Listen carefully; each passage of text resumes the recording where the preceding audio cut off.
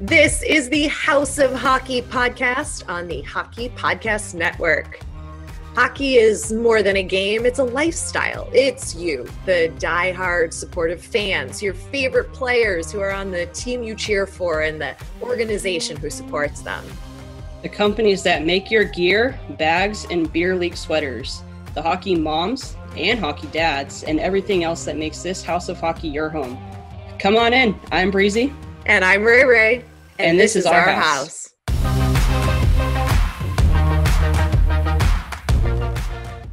The 55th Super Bowl is this weekend. 50 five and a game this big deserves a big prize, not just some trophy. And DraftKings, the official daily fantasy sports partner of Super Bowl 55, has up to $55 million in total prizes up for grabs with their Super Bowl prediction pool. How's that for big? Well, all you have to do to get your share of these huge prizes is enter DraftKings free Super Bowl prediction challenge. Once you submit your picks, you will get a free instant prize up to $25,000. And if you have the most predictions correct, you could win the top prize of $1 million. Download the app now, enter the free prediction challenge, answer questions like, who'll score last. And boom, get ready to make it rain. DraftKings has paid out over $7 billion to its players since 2012. So they know a thing or two about big paydays. Here's how it works download the DraftKings app right now and use promo code THPN, that's THPN for the Hockey Podcast Network, to enter the free $55 million Super Bowl prediction challenge everyone, yes, everyone gets an instant prize up to $25,000 just for playing. So use promo code THPN now and enter the free $55 million Super Bowl challenge only at DraftKings, the official daily fantasy partner of Super Bowl 55. Terms, conditions, and eligibility restrictions apply. See DraftKings.com for details. Okay. okay. Food in my teeth. I just had to eat a snack bar. You love me. so funny. you love just seeing my teeth like right up in front yeah. of the camera. Like what? Got good little chompers going on right there. I did the the braces. They they were worth it. I never had braces. My mom saw a shark at the beach. What? Yes. What are you crazy? Mean? There in was the ocean. Yes, in the ocean, it was high tide, and the rock or the waves kept coming up to the rocks. And so there was like no sand, it was just water. So it was probably, I don't know, maybe like, two, I don't know, like a foot or two of water. I'd say so. And like the waves kept like coming in, crashing up, and then like it would come down. There's like a tiny bit of water, but my mom saw like this long, like black thing with a fin on it. Oh, so she thinks it was like a like a little sand shark or something, which is probably pretty common. But was she afraid? No, because we were like, we had a lot of rocks between us and the thing. I'm sitting, and then she tells me, that I'm like, great, I'm obsessed with sharks. So I'm like sitting there, like looking at like the water, and then I see a fin, and I'm like, a freaking dolphin, come on. I have to say, it is difficult to tell the difference between a dolphin fin or a porpoise fin and a shark fin, in my opinion, yeah, when you're in the ocean so. Or you're like looking and you're like, oh, is it, uh, is it going to kill me or is it going to save my life? you see, I, have never witnessed uh, a fin while being in the ocean because I'm terrified of the ocean. Unless, like, I'm looking at the ocean from afar, I'm cool, but I would love to see a shark. I love sharks. Well, welcome everybody. This is episode let's guess 47 episode 47 i'm Rae Rae and i'm breezy and this week we uh, brought on a returning guest uh, to actually do a, a more official interview with him Kurtis Gabriel. He is a hockey player and he was on many episodes ago. Uh, he's a big advocate for um, LGBTQ plus and um, an advocate for diversity and inclusion and all of that. So we had him on briefly to talk about that, uh, along with the founder of Pride Tape, which is a company that makes um, hockey tape that's rainbow printed as a way to support the LGBTQ plus community and the hockey world. And we were like, we got to bring Kurtis back on to just talk hockey because we didn't get to talk hockey or his career or like anything um, in that other interview. So I think you'll really enjoy this conversation with him. Yeah. And our, I don't even think people know, but our, well, I think we addressed it in our pre episode for that episode, but he was supposed to be on the entire episode and we were going to be able to get to certain things but i guess a car had hit like a light post outside of his apartment and knocked off all of their power and so he ought like he just got like cut off so he he felt bad he messaged us and he's like anytime you guys want me to come back happy to do so and so we jumped on that opportunity and it was like talking to an old friend again. it was just kind of pick right up where we left off with him and and got an update on, you know, his uh I guess I don't know that tryout's the right word, but like his mm-hmm. tryout to to play for the San Jose Sharks. How fitting we were talking about sharks to start this episode. um that he was there trying to make the cut for the NHL team and he talks about that and he tells us about like the quarantine life and and practice and just sort of a day in the life now and what he's working towards and he's a he's an agitator on the ice and so he tells us about that and his rules of engagement of chirping. I think you'll you guys will all enjoy it. Yeah and we were able to get all of this in in a pretty short amount of time since he was on a time frame of yeah. getting ribs delivered so we wanted to make sure he was going to get those uh, healthy meals in that he needs. So. oh yeah, and he got a couple of phone calls some from some from hello Rachel some from some from some from some from friends. um so you'll hear uh that phone call I, I i left all that in the edit because i thought it was funny so that is funny but he didn't want to have them join us on the podcast because they were private guys. But that's okay. Next time. Yes, totally fine. Um, but anyway, well, we do not have an unpopular hockey opinion, though the main thing we're going to talk about in our pre show could fall under that category. It also definitely falls under the shut the front door category. Um, it does not fall under Breezy's barbecue. but um, we're going to go with it because I had a pretty strong reaction to this story.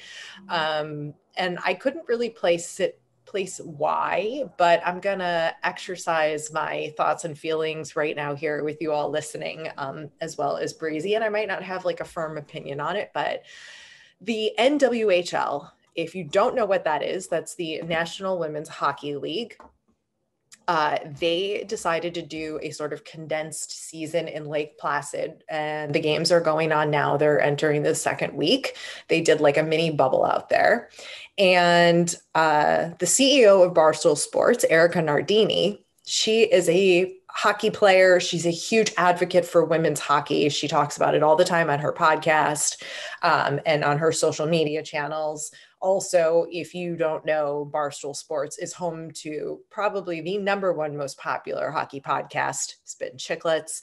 Um, and they are also advocates of women in the sport. They've had women on and are advocates of the women's side of the hockey game as well. So basically, what happened was uh, Erika Nardini had two of the NWHL players on her podcast before the tournament. I have not listened to that episode, but either way, they went on. And then, uh, like a day or two later, when the tournament started, the NWHL came out and just said, We have no association with Barstool Sports. We don't support them. Our players went and basically did this on their own. They didn't ask permission, but as a league, we do not support Barstool Sports. and Erika Nardini's argument is hold on a second. I have been an advocate for this sport. I've been promoting it. I've been bringing more attention to this. I want to buy a team. I want to figure out how to make this sport popular. Like, I support these girls. I support what you guys are doing. I'm watching the games. And now, all of a sudden, because I'm run this company that has been deemed to be misogynist and um, they harass people online and they attack people online on Twitter that like the league cannot support her or her support of the players. And my first thought was that old saying, all press is good press.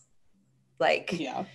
women's hockey needs press. We need they, they need exposure. They need to get people excited. They need characters. They need players to go on podcasts like Erika mm-hmm. Nardini's and show their personality so people can give a flying fuck about them and want to watch them play hockey and be like, oh, oh, they have a hockey, there's a whole hockey tournament and I can watch it for free on Twitch for two weeks and I can watch all this amazing hockey and see that girl who was so funny.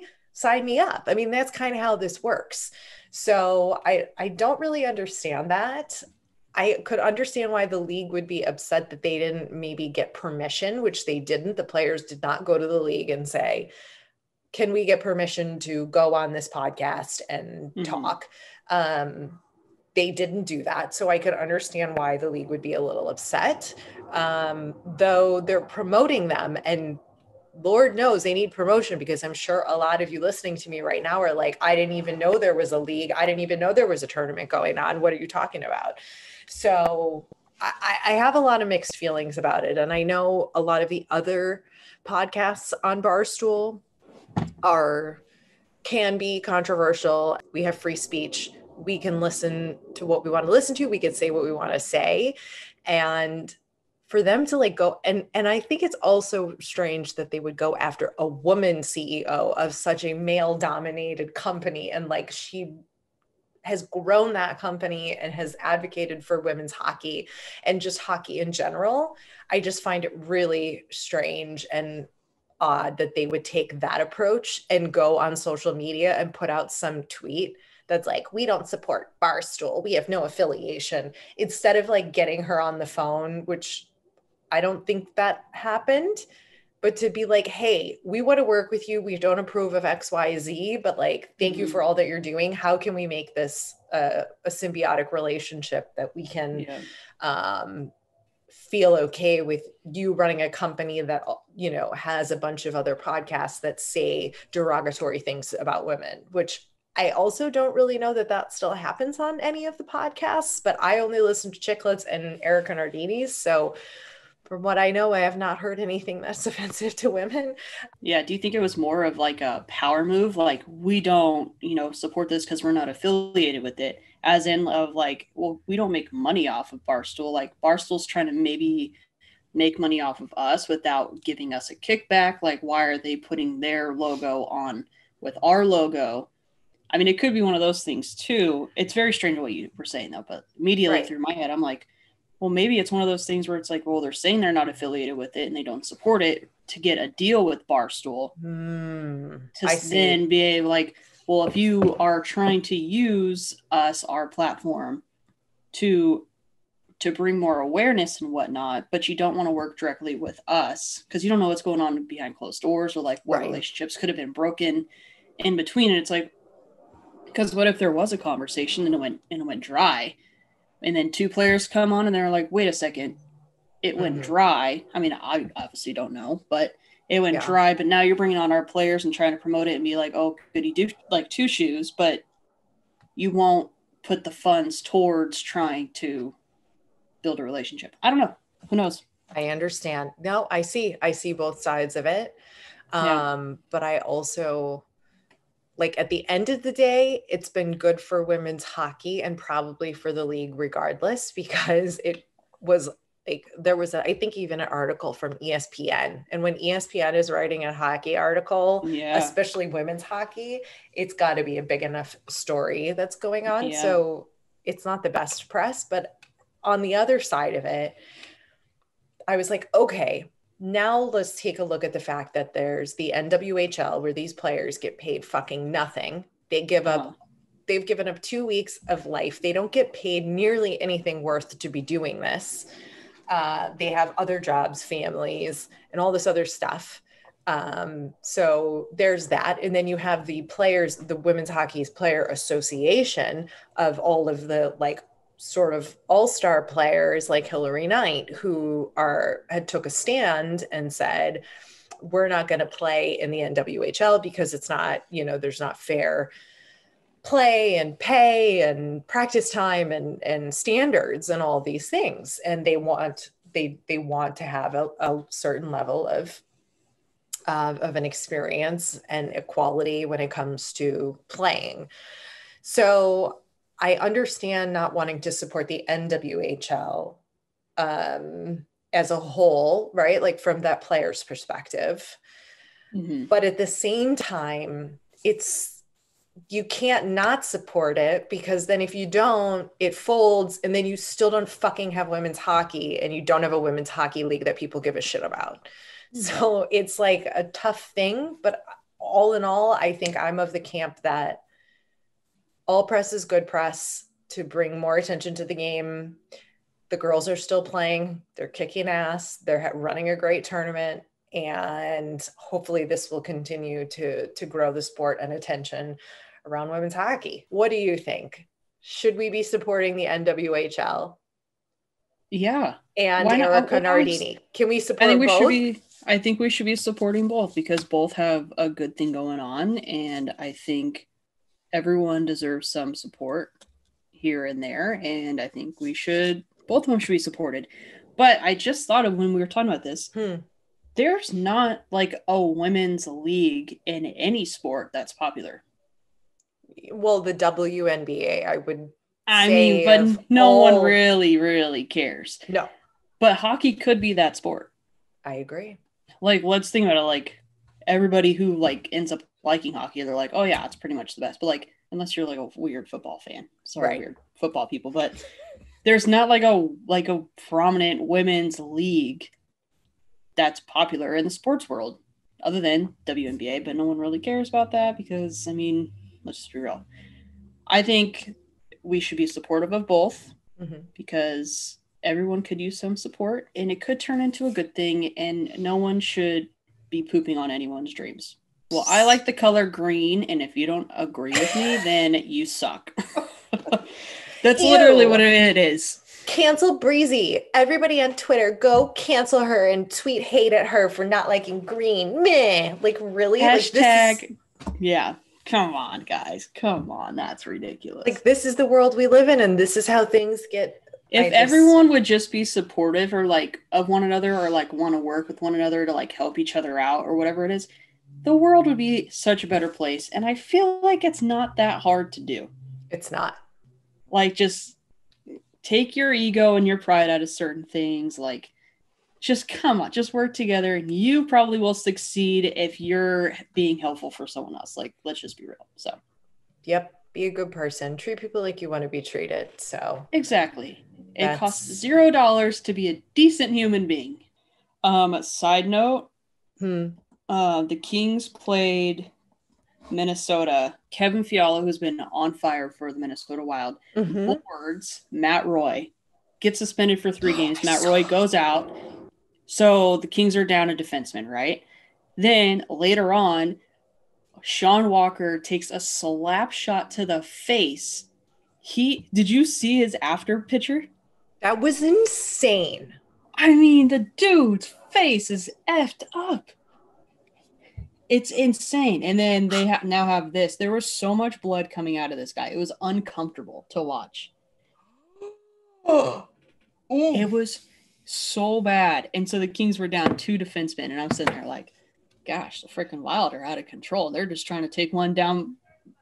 Ding, done, ding, done. Who's next? that's insane his face is so bad. His nose is his entire face. And his nose normally does not look like that. He's a good looking guy. And then you're looking at it and I'm like, oh, what's going on with your uh, I don't know, man. It he- literally looks I don't he's not playing right like he's out right well Or is he I mean, being a real they- hockey guy and he's like playing with that busted face with one eye that he can't even see? he probably will because I think it was just like he's got stitch out. He probably needs to have some surgery on his nose. I don't know how his because it like hit him right in here. But they played Thursday night, happened Thursday night, and their next game is on Tuesday. So like he's had like he has some time to heal. Like I'm assuming he's probably just gonna wear a full like face shield or whatever, um, whatever they call that. well, did what does he normally wear? Does he have like a half visor? Yeah, just a half visor. So he's probably gonna wear a full cage. But the But- half visor made the puck still did that to his face? Yeah, it like I think the puck just ended up. He took it from Matt. Dumba, who has one of like the hardest shots in the NHL right now. I mean, that thing just went bink, and it just went. It like when it came, I think he well he was throwing his head up too to like try to like back away, and it just went dink. My sound effects are great. I know. Dink. They're dink, so dink. good. But really it was like Yeah. His like whole Oh face God. just crumbled. And I was sitting there and I was like, is he bleeding? And my dad's like, uh, yeah, there was a freaking river of blood. And then I was like, holy crap, that hit him high. And so I'm sitting there watching it. Like I replayed it and he like stopped by the bench. And then Kurtis MacDermid like looked scared and jumped over and like grabbed his face. And I was like, oh my God, did his eye fall out? Like, Right. why did Kurtis look like that? But it looked like the trainer said like, "Hey, I need help," and then like he jumped over to like help, but it did not look. There was, it was a river of blood, straight up river of blood. This is why we love hockey, right? It was insane. I feel so bad for the guy, but like it was insane. And my mom comes running in. Did you say blood? But she So funny. loves blood or something? No, she loves a good hockey fight. Oh, good. Oh, but it wasn't oh, like oh, a like that. it wasn't a fight but she does like she was like oh they're injured like i want to see like what happened like because it's like at the end of the day you don't want anyone to be hurt like you don't want to see anything like that but at the same time it's like how many other like sports leagues can you watch where like they actively show like the play over and over again the people getting hurt the blood all over the ice the face all jacked up like it is so cool in like a not cool way There we go. Our guest Kurtis Gabriel tells us about his face getting all fucked up from a uh not from a puck though. So you'll hear that Yeah. story. But yeah, oh yeah, Yeah. that's a real hockey hockey injuries are real. They're real. Yeah, he saw his little uh, cut on the face. yeah. It was awesome. Good old hockey guy.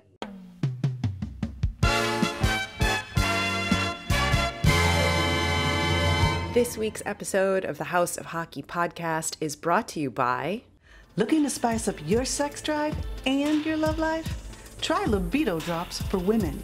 It's formulated to enrich your sexual response, arousal, and lubrication. Libido Drops are healthy and organic. Just add a few drops to water each day. Try Libido Drops with no risk, complete satisfaction guarantee, or your money back. Order your bottle of Libido Drops for Women now at libidodrops.com. And we have a promo code for all of you House of Hockey podcast listeners. You will get 10% off your first order when you visit libidodrops.com. In the checkout, in the coupon code, enter hockey10. That's hockey10 for 10% off your first order of Libido Drops. Go to libidodrops.com. Our podcast is proud to be on the Hockey Podcast Network, and the network is home to many other incredible podcasts, including this one.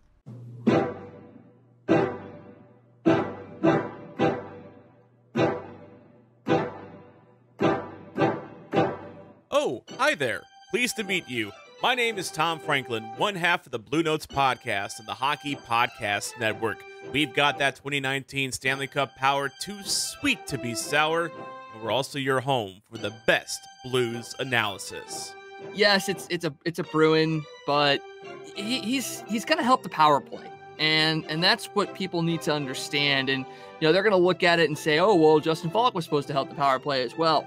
Torey Krug is legitimately going to help the power play. Felt like Newport was ready to go into this offseason and use Pietrangelo as an example and say, okay, we're gonna play chicken here with with uh, with the COVID cap here. Someone is going to give Pietrangelo his money. We also have great guests from here at home. St. Louis Post Dispatch, St. Louis Blues beat writer Jim Thomas, the organist for the St. Louis Blues, Jeremy Boyer, and around the world. Yo, Blues fans, it's Gerard, the Dutch Blues fan, all the way from the Netherlands. And no other podcast can say they have a Hawaiian hockey correspondent, but we do. Aloha! I'm Guy, the Hawaii Blues fan, and this is my Aloha commentary. Plus, a little self deprecating humor thrown in there. One of our new Blue Note Selkie level COVID mask, if I can turn it the right way there so I can properly sell it. I am I you know what? I am failing my Price is Right model audition right here. This is this is terrible. He has opted for the uh, neck gator uh, version of this, and I'm still failing my Price is Right audition. Fuck it. Um, voted the best podcast by our peers in the Hockey Podcast Network. Follow Tom and Wags on Facebook, Twitter, and Instagram at Blue Notes Pod, and be sure to subscribe to Blue Notes wherever you get your podcasts from. This is Tom Franklin reminding you to not be a chump and always play to the whistle. We are going to throw it over to Kurtis Gabriel, and you probably know him from playing with the New Jersey Devils, the Minnesota Wild, the Lehigh Valley Phantoms, which is the farm league for the Flyers. And he's currently playing under the San Jose Sharks organization. And he is a LGBTQ plus ally. And he's just an overall great guy you should go check them out if you haven't already. And here is our interview with them. We hope you enjoy. Ribs and Yeah, I did potatoes. really excited for my night with my with my food getting delivered. You must be doing like a lot of food delivery right now, then, because that's all you can do. Like, what, what are you Everything I've eaten. cooking?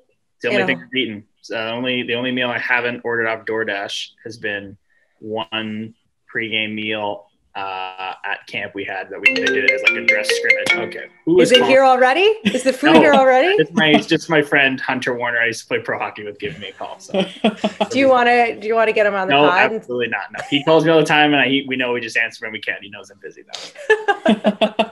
awesome. Uh, give us the update. What's going on? Where are you, Kurtis? What's happening with your season? It's been uh, probably a pretty emotional start for you, starting out in San Jose and the whole sort of thing of the team and then being relocated to Arizona. So give us the, the rundown of sort of everything that has happened in a very short amount of time.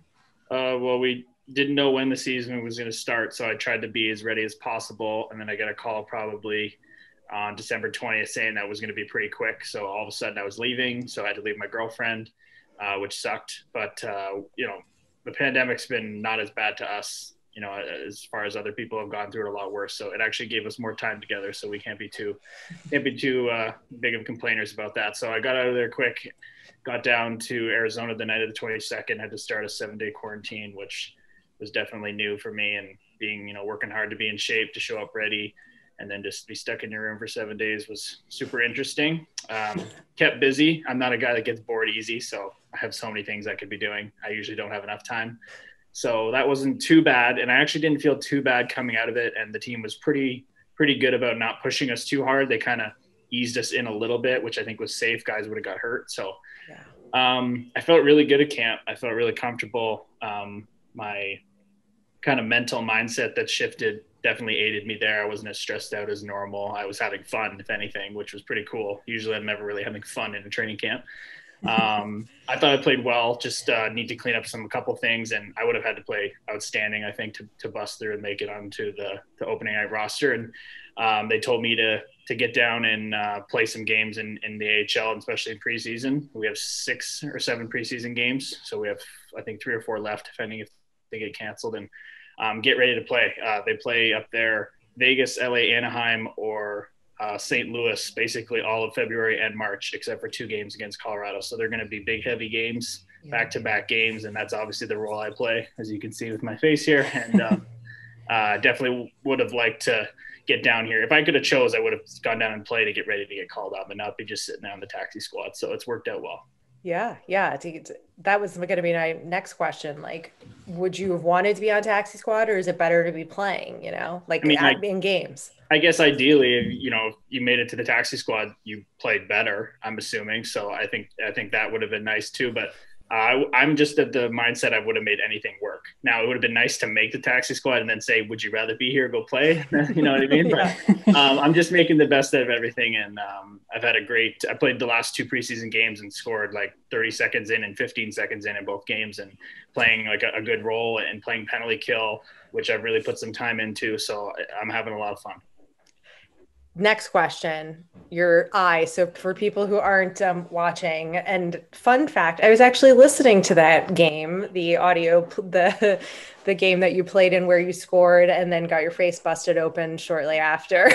So you're off to a pretty good start. Do you want to tell us about that tilt you had on the ice? You had a couple uh, in the most recent game. What would have then been? Friday friday? Yeah the one that you listened to was uh, uh, the Wednesday, I believe. Friday actually was pretty quiet as far as the physical stuff. But uh, the game you listened to, yeah, I yeah. started the game. I was weird. I haven't uh, played a game, obviously, like a real kind of game like that, a preseason game in 10 months. And I think I broke my stick like the first 10 seconds, got a new stick from the bench, skated up the ice, and got a puck and scored. So that was weird.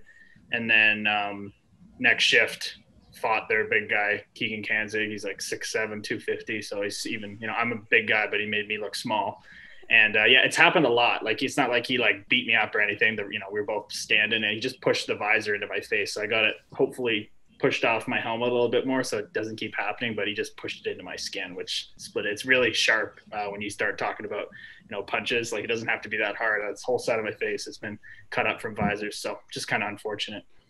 Jeez. Well, visors are supposed to protect you, right? Not yeah. Well, honestly, honestly, I, it stopped me from getting pucks in the face a million times. So it's done more uh, good than than harm. But it's just kind of frustrating when you get in a fight that like if anybody's watching, you're thinking, oh, they kind of just both just hit each other a little bit, nothing that too bad. But then I come out with a huge cut, so it's just kind of like right. just kind of like annoying. And then to have them tell you, oh, like you, you beat me up, I'm like, come on, like do I do I seem discouraged about you? I don't think I'm really discouraged. I think I do it again.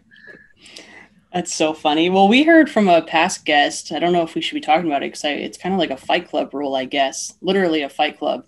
Is there such thing as like you can't or you shouldn't be fighting someone bigger or smaller than you or like no, out of your weight class? Definitely not a rule about that. Just about how big of a heart you want to have and how big of a guy you want to go after. So um, I think the only kind of somewhat there's no actual rules, but if you want to have some respect for each other, just um, don't punch each other when you're in a super compromising position. I mean, in my in my opinion, if you're on one leg, you know, and, and unless you're if you're getting back up, you're still eligible to get punched. If you don't want to be in the fight anymore, go down. But as soon as you go down, don't punch the guy anymore. That's kind of what I try to do. Um, I've been there where I was going to swing at a guy and I saw him going down, and I was like, oh, okay, hold back on it. So that's really the only thing. But other than that, it's you'll have guys that have no respect and just they're trying to be so mean to scare you, and then other guys are like much more nice about it. it kind of just depends right. on the situation.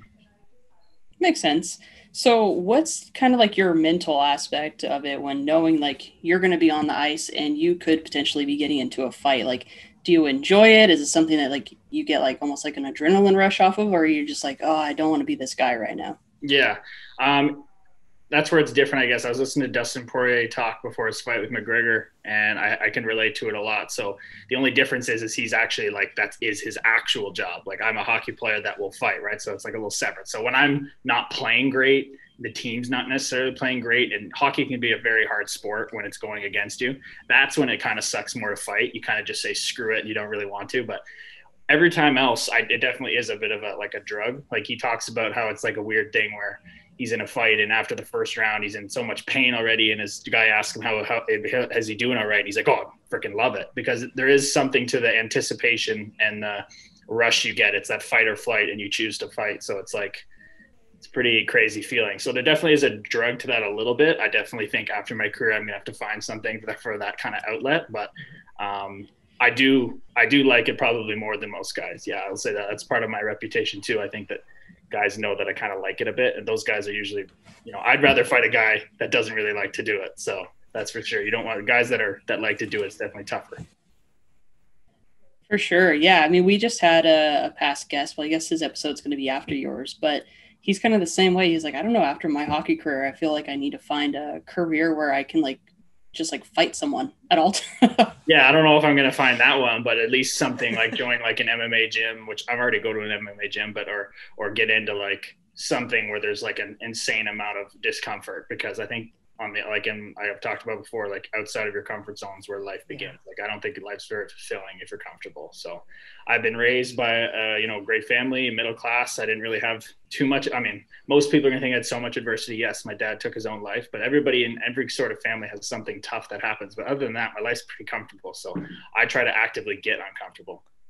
Yeah, why was that important for you to share like publicly and and you share a lot of your life and um, some of the big things that have happened to you both uh, positive and maybe possibly you could consider that negative um, but how important was it for you to really put that out there on like social media and in a public way oh because it's it's just I don't know. I'm not. I don't. I try not to swear a lot, but I do. like, for example, swearing is a part of life, and I think it's pretty funny and can be used in a great way. There can be a bad way to use it, but just like I kind of relate that to there's bad stuff in life, and I think being open and honest and authentic about it is the most real way to get through to people. I'm not hiding about it. I've kind of in stages rolled out my story. I know the first time I talked about it, I probably wasn't so, you know, into the details, but now a couple times now I'm getting to more of the details and stuff I even found out not too long ago that he did reach out for help and wasn't able to get to that week later appointment. He just couldn't make it till then. So that just shows like I have a direct correlation. I'm I fight for all these issues that I'm not a part of. You know, I'm not a person of color. I'm not uh, in the LGBT community, but I can definitely talk to mental health, and that touches every single person on this planet. So I feel like going forward in my life, that'll probably be where I hang my hat on. I just kind of fell into the LGBT stuff and the and the Black Lives Matter stuff, but that's definitely where I'm going to hang my hat. And I think being that authentic and that real is what's going to hit home with people that I understand that life's not all sunshine and rainbows, but that doesn't mean it's bad. Exactly. And you've obviously been a super big inspiration to so many people by, you know, everything. Who's calling kind of... you now? Is it your food?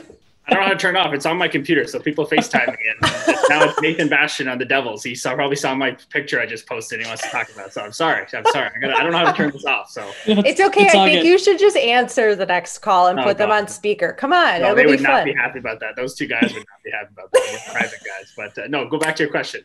Go ahead, Breezy. Yeah, I was just gonna say you're you're a huge inspiration for you know standing up for people, and you've had a great response. Can you maybe it's more locker room talk, but what kind of response have you got from your peers and your player and your teammates and whatnot for being the change and being able to to stick up for people who don't have as big of a voice as you do? Not much, to be honest. Um, the most I hear from are you know older buddies that I've known for a long time, probably more comfortable talking about it with me. Um, past teammates that I've talked about a little bit more, but uh, currently on this team, uh, not much. Nobody's really mentioned it about it. But also, you got to remember, we've been quarantined, right? Like, we're not supposed to be hanging out. You saw what happened to the Capitals, and yeah. not only do I not want to get in trouble, so I don't try. I'm not trying to hang out with the guys as much. I also don't want to get COVID because right. I'm trying to get up to the NHL. I can't risk that, and I'm quite happy sitting in my room. I'd love to hang out with the guys, but we just can't. So maybe if we had been able to have team events and go out or whatever like a normal team, we would have talked about it. But so far, uh, not too much. So uh, it just goes to show the insular nation, nature of the sport, and um, I don't know why guys are scared about it on this on this team or organization, just because we're the most open probably organization there is in the NHL. Mm-hmm. But uh, maybe it's just they they agree and they don't see a point in uh, talking to me about it. Kind of got it covered. I don't know, but uh, uh, not too much. Do you plan on wearing um, the pride tape in any of the games, or forgive me if you already have and I haven't seen it? yeah, yeah, I wear. I've I've worn it on every. You know, I've had it on my stick every time I've picked up a hockey stick since February of 2019. So.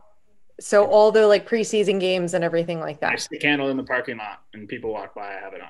I think that's awesome. And and do you get any sort of like positive reactions as well? Okay, so the players don't really acknowledge it at, at this point with with where you're at, but um, are you getting any more um, like people who are in the sport you know talking to you about it and and continuing to message you saying like thank you for doing that like that's awesome or yeah it's, it's an endless um, especially since my skates i did my skates like i still have 99 plus dms and i try to knock off a couple a day but then they get refilled by some other story i make so i have some that go back to that time I still need to get to. But yeah, the people uh, through my Instagram and social media are are amazing. Um, I think they were really what drive me forward, and know that I know I'm doing a good job from them, and uh, really fuels my fire. If they're if they're receiving me in the way I'm putting out, whether it is activism, whether it is my brand, whether it is motivation, all that kind of stuff, if they're if I'm getting that feedback and it's exactly what I want it to come off as, that's really great to me. And what's funny is it usually comes off to only the people that are seem to be secure, somewhat individuals.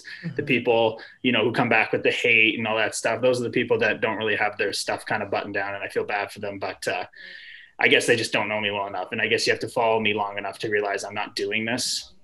I'm going out of my way to do this. If I could, I'd just be talking about hockey and mental health and my own stuff. But uh, I, I see a need of, and I hear a need from people in the community that I need to do this stuff. Oh, yeah, for sure. I mean, it's very much needed from what we've just seen over the last year across like society as a whole um, and and just so much so much differences and then it, really makes you look at the things around you in your life like if you're a hockey fan and and what's going on in the hockey community if you're play and and to really take a closer look and go oh yeah there really isn't this or we need more of that so I think it's it's really courageous to be the person who is willing to do that, especially in a, a hockey culture that's always been very um, about the team and quiet and we don't address like big life issues that's not what we're about you know kind of thing. So like what would you like to see long term in in let's just say within the NHL and the AHL like as far as diversity and inclusion goes like what do you want that to look like? Yeah well i don't know. Uh, it's funny like people in life you know people that hold management positions and high up positions in big organizations they're from an older time and they're conditioned to think a certain way and sometimes it's not their fault. What's their fault is not getting educated and taking the time to learn about it and catch up. If you're, you know, people who usually rise to the top of things know that you have to adapt to survive. So mm-hmm. you should probably adapt to the social climate that's going on now. So unfortunately, it might have to take them moving on and retiring and not being involved in the sport for your younger people coming up that have been closer to this kind of movement start taking over. So ideally, the younger kids that we're focusing on now that are getting educated more and more just through social media and looking at my profile, looking at Brock McGillis's profile that are learning that way uh, are going to start moving forward and take up these positions and be successful and make the change. You know, can only do so much, but we're trying. We got a, a really cool initiative coming, hopefully sometime soon when we put it all together. It's not ready yet, but that'll be a big thing for um, LGBT in hockey and, and inclusion in hockey but uh, I would like it to see. I'd like to see where it just doesn't matter. It just really because it doesn't. It really doesn't matter. And I just posted in my picture. I just posted a picture of me had a had a goal, and I said, "Hop on the Gaber train." I said, "You're welcome to come along if you you know you treat people with respect, and after that, you don't give a damn and stay out of everybody else's business because that's really what it is at the end of the day. Why do people? So many people care about how other people live their lives. It blows my mind. It's so selfish and arrogant to to think that you should have a say in how other people live their lives when they're just perfectly good people. So I'd like it to get to the point where it doesn't matter. Hey, you come to the locker room. Hey, we'll get to know each other. Of course, over over the season, you might get to know. Hey, that guy's gay. Okay, cool. I'll be the guy that's like, hey, so who we going after guys for you tonight or something? You know what I mean? I want it to be where it just is just normal because it is. Mm-hmm. Oh yeah, I know. I think a lot of that is so many people's own fears and insecurities is the like um, attack on other people and judgment and criticism is you know just the fear of want not wanting to face their own issues it doesn't necessarily have to be that they are you know gay or not or whatever it is but you know usually it's a symptom of of, of their own issues and it's like mm-hmm. it's hard to deal with though and you're brave to like put that out there regardless and have to see all that. I mean, even when you're going, if you're going to delete those messages, like you still are reading it and consuming that. So Thank you. Yeah, I, I, like doing that. I like connecting, right? Like I don't have as much, I haven't left left uh, as less patience with like creating content as much. I like connecting with people, so I'm trying to get like I work with a company that'll help me put out content because I like messaging people. I like the, the actual interaction.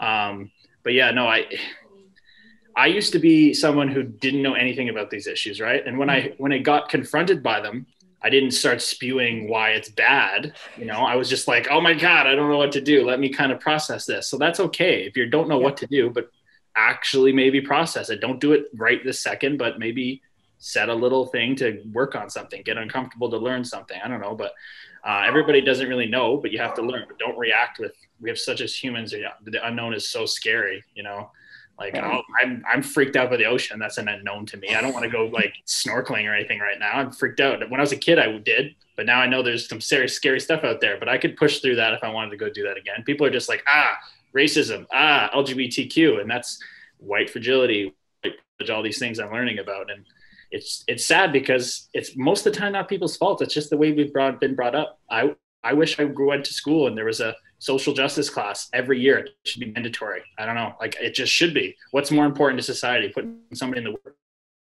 workplace or putting a good person out there? Why don't we just work that right in right away? That's something I yeah, want to see. Definitely, I agree with that for sure. Well, let's take it back to you uh, talking about connecting with people and I'm really curious about what your story is behind sharing your daily routine on your IG stories. I think it's something that's super cool. I get inspired by it every day. I'm like, oh, I got to log on and see what he's doing. Thank you so much. Hey, see, so you telling me that is just what I'm talking about is that feedback from people saying, hey, they like what I'm doing. And, and that's awesome to me because I'm doing like the bare minimum in my mind, right? Like I just, I'm doing it so authentically, just so just like, oh, I see something people, well, I think I used to be a fan of, you know, a kid of NHL hockey players. I still am. I would love to see what guys are doing. So I just think, oh, this might be, I do a little checklist. This might be something people might like. Will I get in trouble for it? Yes or no? If no, post it. So that's kind of what I'm doing.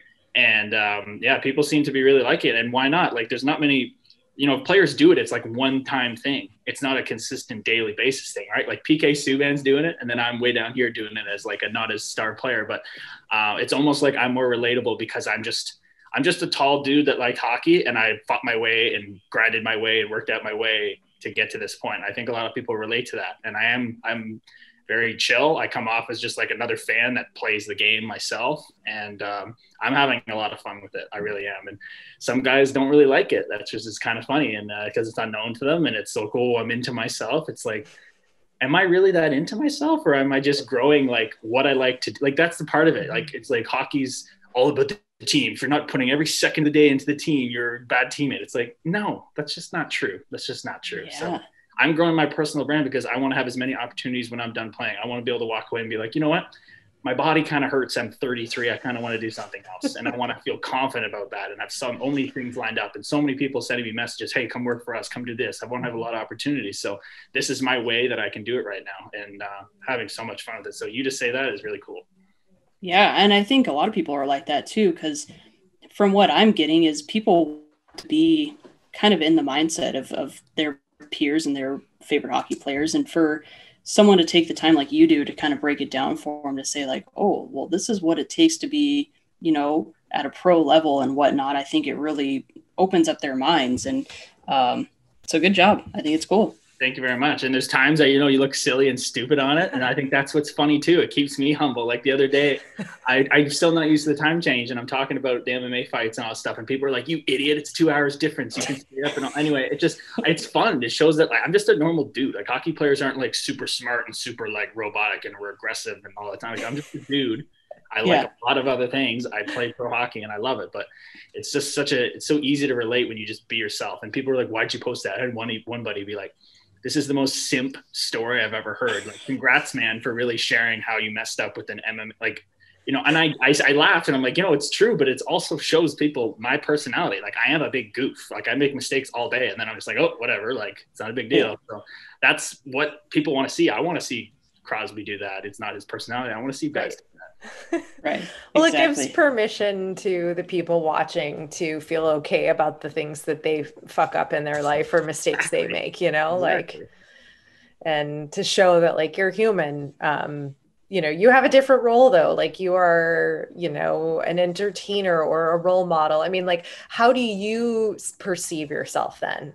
Like, because I mean, you you are a hockey player that performs in front of normally in front of audiences and and you're an athlete and that carries its own sort of weight yeah so it's kind of funny like when i was at a really tough time in my career, which people wouldn't think. I was actually uh, having an awful time in Binghamton when I was in New Jersey. I played the first half of the season there, and I was getting called up, and I had, wasn't even playing. I was I was getting scratched in the minors and getting called up to the NHL because I was just like that tough presence, and I was in an awful place.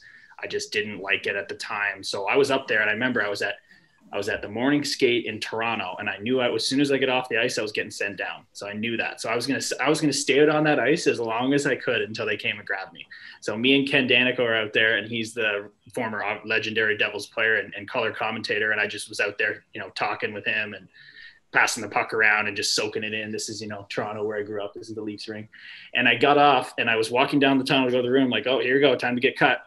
And I walked by someone and I realized there was someone sitting in the stands. And I went, I know his face from somewhere. And I went, ah, screw it. What do I have to lose? And I backed up and I was like, where do I know you from? He's like, I'm Jay Harrison. I run the NHL Core Development Program, which is what I I saw him present at the rookie orientation so many years ago, talking about life after hockey and preparing for it.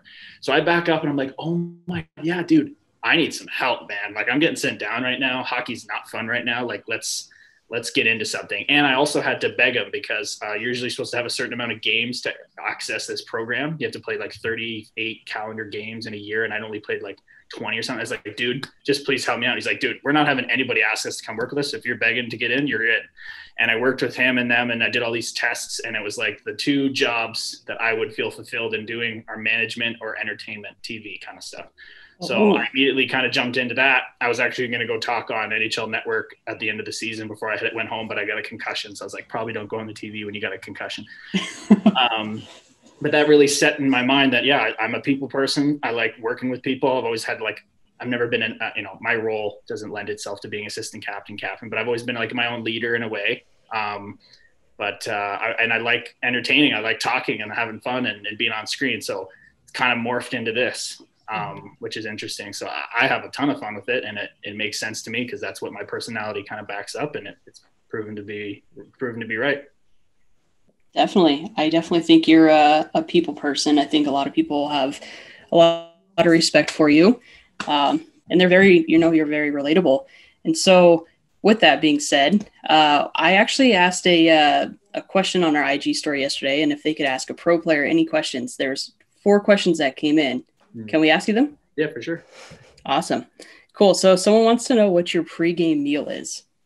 Yeah, I'm I do most of my stuff based on what I think just enables me to play the best, you know. So I I'm, I'm a big like I've always tried to eat pretty much gluten well since doing my nutritionist thing, like gluten free, and I try to eat no dairy, no eggs, which is hard. So I, I'm really just like a chicken, quinoa or rice vegetable guy, just really clean, eat a ton of it at like maybe four, five, six hours before the game, and then have like a snack a bit before the game and snack during the game. So it's usually that kind of meal. What do you usually snack on mid game? Whatever they have in the, in a, the NHL teams, obviously have a lot more. But um, like, actually, are we talking like nachos from the stands and no, like soft pretzels or what? Chicken and rice before the game. What do you think of eating nachos? Just a giant ball of grease in my stomach. You said whatever they have. No, but whatever they have is like in the in the locker room. We have like applesauce. We got like you know different protein bars and, and little, right. like, sugar, sugar, chews that like give you a little jump of energy um, you know biosteel that kind of stuff. Just like little things to keep you kind of have something digesting but it doesn't make you feel full and heavy. The worst is like to, as a hockey player is like to still feel like you're digesting a lot of food. You want to be light good. Yeah you probably don't want to get a stomach ache on the ice either. Mm-hmm. oh man. So what's your favorite pump up jams to listen to before the game? Yeah, uh, I'm pretty good. I like a lot of genres of music, but if I have to probably get really pumped, it definitely have to be like EDM. I think like I really like Hardwell, really like um, like big kind of big room DJs like that, really loud in my headphones. That's probably the last thing I'll listen to. Sometimes a little like rock, ACDC, something like that, but usually EDM. Nice. A lot of people say that uh, locker room music sucks. Would you say that's true? Hey, I run it. I've run it before for quite a while on some teams. When I was in Minnesota, I even made the on ice locker room. I mixed it together. They oh. sent me a oh. couple songs, and I pick got to pick a couple because I did it, and I got to put the last one on. So I've always thought that was pretty cool that I got to DJ a little bit of that, and I got to be on the ice. You know, in, Minnesota, all the fans come down too, so it's like packed, and I would stay yeah. on last to hear the song that I put at the end that I got to pick because all the other ones they picked and I would Yeah. just jam out to my song that I picked that I put on the speakers. I thought that was pretty cool.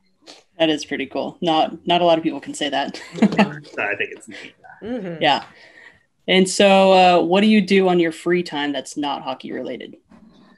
I mean, I try to. That's the thing where I'm trying to balance like not answering too many people because I kind of have that problem right now. Probably I'm kind of like having a lot of fun with that when I probably should like chill out. I don't need to answer like 40 people a day and start having conversations with them. You know what I mean? Like some days Yeah. it's that many, right? Right.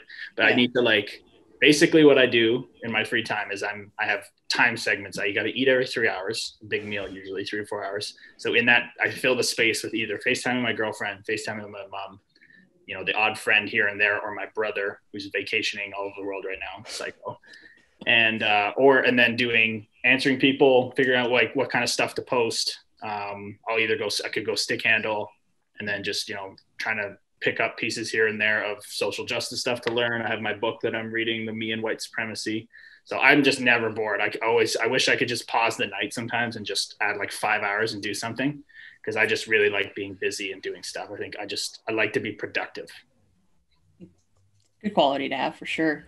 And uh, last fan question is: Does your number have any significance to you?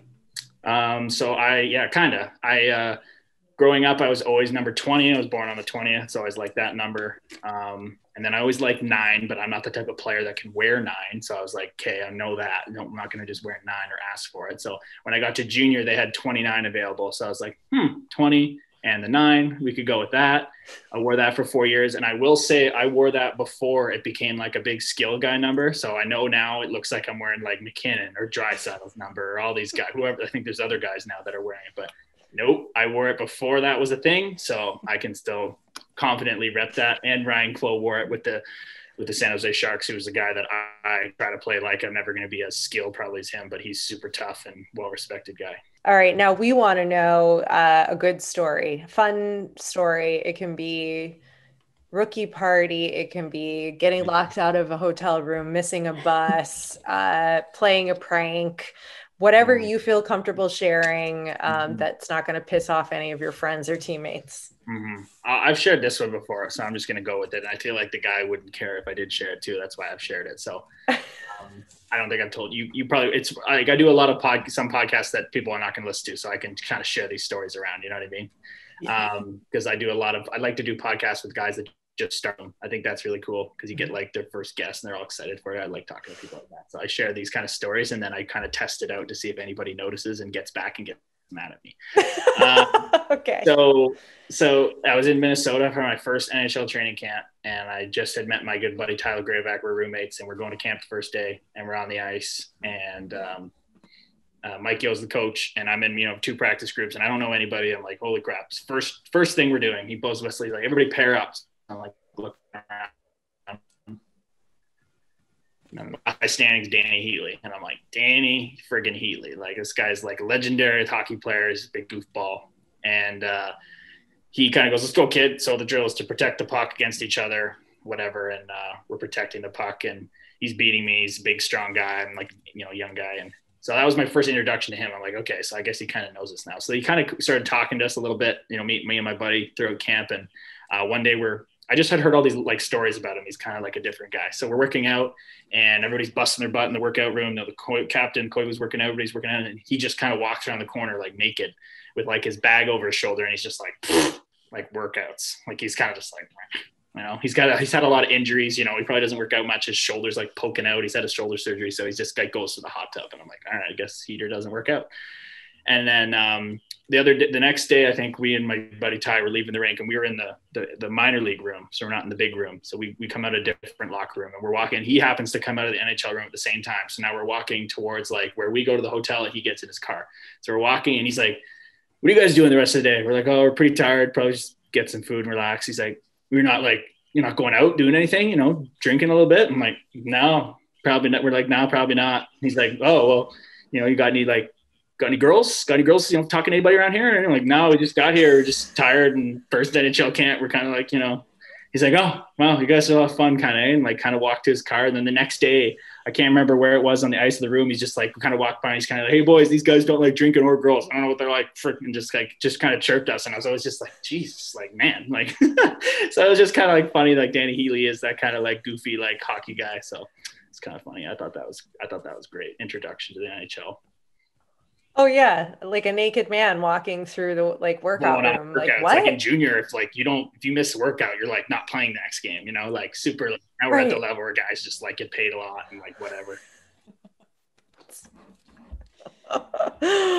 oh my god, that's really funny. I like that. That's good. Have you like now returned the favor of the quirkiness and like pulled that? Yeah, uh, not I guess in my own way, and yes, in my own way. I'm just like the super like intense guy all the time. in Practice like I want to do like battle drill. That's like I'm always like want like can we do battle drills? Like like I want to get ready for the game. Everybody's like no, it's practice. We don't want to do battle drills. Like that's my kind of quirkiness where I'm just like the typical go hard and like I get typecasted as that guy and I don't really care. And guys are just always making fun of me for that. But so it's I don't really say I'm quirky that way. I just kind of just be myself and people think I'm nuts. I don't know what else to say other than that. They think I'm a little loony. Hey, sometimes there's a benefit in um, leaving people guessing and not knowing who you are all the time. So Well, I kind of just show exactly who I am. That's the thing. They're kind of just, well, that's get like they all, even the young guys. Like I'm the easiest to chirp on the team. Like we have a young guy. We have 18 year olds here at camp because uh, their seasons aren't going in the WHL and they're allowed to come down to the AHL. So like this young 18 year old guy is starting to get confident. and He's like chirping a lot of the older guys, and it's funny. And he's just kind of like messing with me a little bit. And this other guy from the OHL messes with me and says he's in my head all the time. And I'm just like, can you like? I'm trying to like practice hard here, trying to like set an example. And they're like, okay, Gabe. So they actually, I get chirped probably more than anybody. I think that's funny. I don't know why. I'm like the big tough guy and stuff, but like I'm easy to chirp and like I'm pretty like chill. But we go against the we go against each other in a drill. They're like, oh, I'm going against Gaber. I want to go against Gaber because they know I go hard. I'm like, oh yeah, like that's kind of the more chirping I do.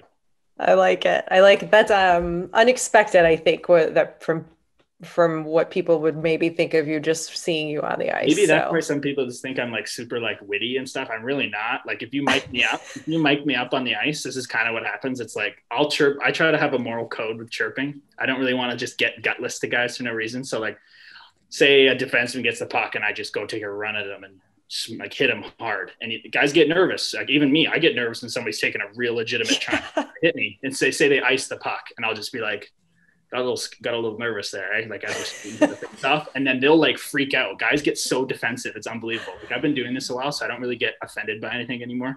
So I'll just say something about what's happening in the game. They'll just be like, "You suck at hockey. You shouldn't even be out here." I'm like, "Is that really? That's that's your that's that really like I've come on. That's it. That's just mean. Like it's just not nice." So I'll just say that. But like, people think I say like the smartest things. I'm like, I just say straight up things. Like, you know, the guys are chirping me last uh, two games ago in San Diego your Instagram is so like stupid, like nobody cares, like you know, like all, I'm just like, man, I'm just being myself, and they're just like, I'm like, what do you oh. say to that? I'm just Yeah. literally just being myself. So it's like they're kind of like, you sound stupid no matter what you say after that.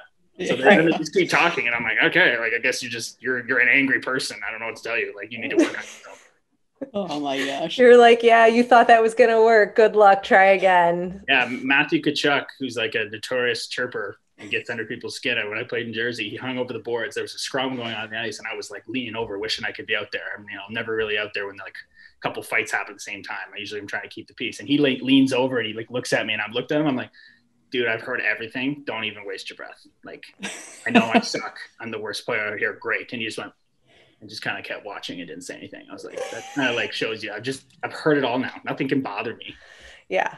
Like you shut it down. You shut down Tkachuk. I love it. So that's why when I say things and guys get all fired up and I'm not even chirping them, they're just mad that I'm out there hitting people. You know, I'm like, you're just you're just making yourself all look bad. Like you're Mhm. just you're just proving that I'm in your head and I drew two penalties and I'm kind of like, this is what I'm this is like my management's watching this and I might get called up because you guys are getting overreacted. I'm doing my job. Thank you. yes. Yeah. You're like keep keep getting all hot and bothered and frustrated. Seriously, I'm like laughing. He's like cross checking me on the back. I fall over and everybody's punching me in the head. I'm laughing with the ref. I'm like, cross checking. See ya. We scored on the power play.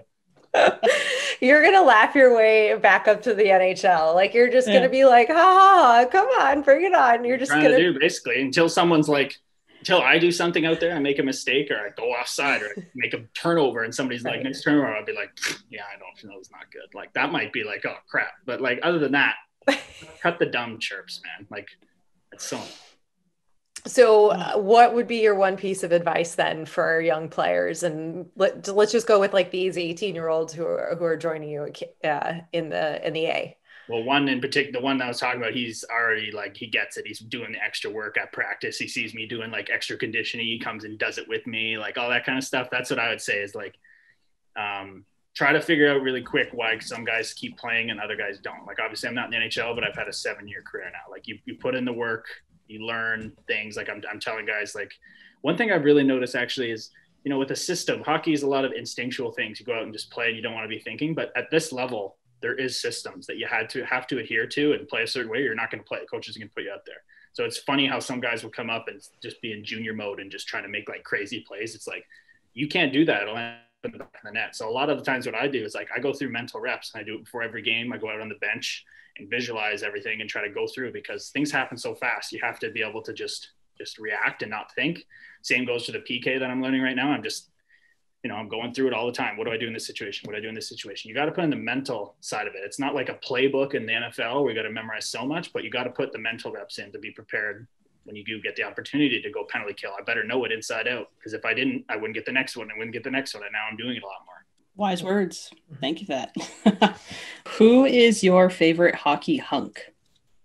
Favorite hockey hunk? Hmm.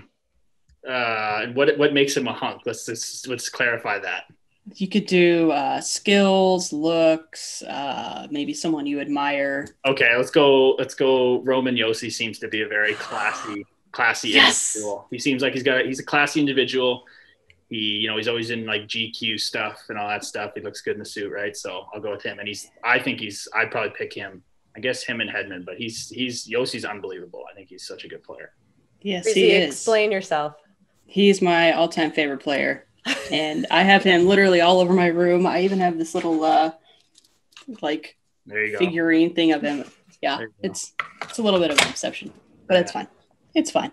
Okay, so who is your favorite hockey lady? Could be a wife or girlfriend, um, player, anybody. Broadcaster. JT Brown's wife. Lexi.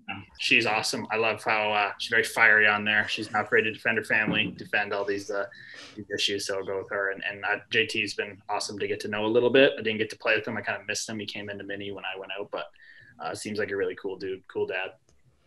Yeah, she I love the way she puts like her children on blast and just makes it yeah. like reality. It's it's yeah, real. She, she, shared the other day or something like her dad was like JT was like eat your chicken or your vegetables and she basically just told him to like shut the f up and she's like he had to stop everything in her from being like yes. She had to be like no.